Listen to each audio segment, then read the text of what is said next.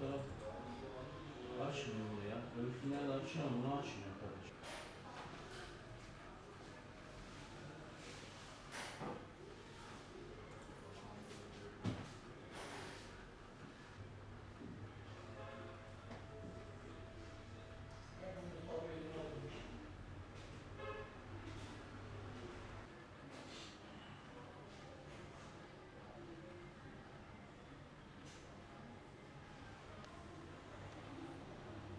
Efendim.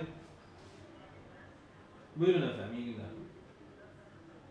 Buyurun, Sedat Kapçak ben.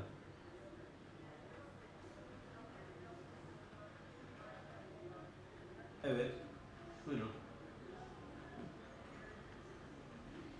Ee, şöyle e, efendim, e, yerimiz Amerika'nın Kaliforniya eyaletinde, Napa bölgesinde.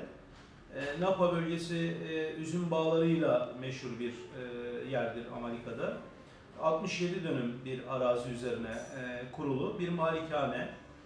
E, 600 metrekarelik bir e, şey var, e, villa tarzında bir yer var, inşaat ruhsatı alınmış.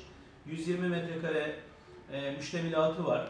E, tüm inşaat ruhsatları alınmış durumda. Şöyle e, bir de e, Amerika'daki bu yerimizle alakalı e, bizim olmazsa olmazımız şudur. Biz oradaki yerimizi TL bazında satıyoruz. Yani 29 milyon 500 bin lira yerimiz. E, teknik şartlarla ilgili soracağınız başka bir husus varsa. Anladım. Ee, şöyle, e, gayrimenkul satışlarında Türkiye'deki gibi sistem aşağı yukarı işliyor. Ee, sadece noter üzerinden satışlar yapılabiliyor orada. Ee, 500 bin dolar üzerinde e, yatırım yapana vatandaşlık hakkı veriyor. 5 yıl üzerinde kalmak kaydıyla mümkün. Ee, böyle bir durum söz konusu. Ama...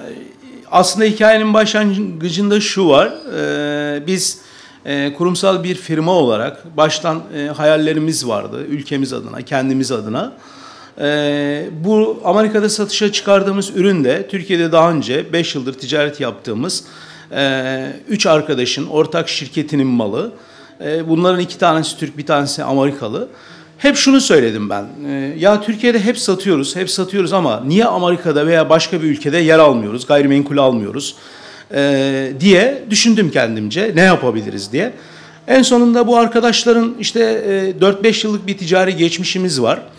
Ee, Bir toplantı esnasında e, Amerika, Kaliforniya'da 67 dönüm bir arazi üzerinde e, bir mülklerinin olduğu ve bunu da satışa çıkaracaklarını ve bunu da benim aracılık etmemi istediler.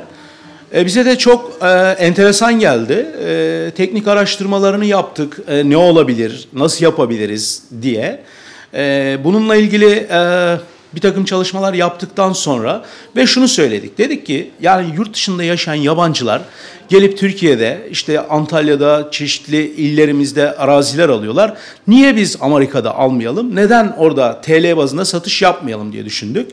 Ondan sonra da e, bunu ortaklaşa bir karar aldık ve gittik. Orada görsel içerikleri çektik. Yani arazinin üzerine çıktık. Nasıl yapılıyormuş? Yani satışlar nasıl oluyor? Bunu e, araştırdıktan sonra e, bir fiyat oluşturduk ve 29 milyon 500 bin TL bazında e, ilana koyduk. Bugüne kadar da yaklaşık bir hafta falan oldu bu ilanımız yayınlanmaya başlayalı. Çok iyi geri dönüşler aldık. Hatta e, Arap ülkelerinden arayanlar var, Türkiye'den arayanlar var. Daha çok Amerikalılar rağbet ettiler. Ve ilginçtir, e, bizi aradıklarında İngilizce konuşuyorlar. Tabii biz e, ilan açıklamamızı falan hepsini Türkçe yaptığımız için arayanlara şunu söylüyoruz. Yani diyoruz ki Türkçe konuşun. Yani biz orada Türkçe konuşmak ve Türk parasıyla ticaret yapmak istediğimizi anlatıyoruz. Şimdi afallıyorlar. Yani diyorlar ki ya nasıl olur falan. Evet biz bunu Amerika'da TL bazında ve Türkçe konuşarak ticaret yaptırmayı öğreteceğiz bu insanlara. Durum bundan ibaret. İnşallah da Rabbim başarılı kılar. Bayağı bir yol aldık. Şimdi Amerika'daki insanlar bizi arıyorlar. Onlar e, hatta bir defasında aradı. Bir tanesi İngilizce bir şeyler konuşuyor. Bize dedi ki Türkçe konuşun. Sonra Türkçe bilen birisi aradı. Aracılık yapmaya çalıştı. Onlara Türkçe konuşmayı öğretiyoruz. E, ticaretten ziyade. E, inşallah da başarılı oluruz ve bunun devamı da gelir. Biz Amerika'da TL ile ticaret yapacağız.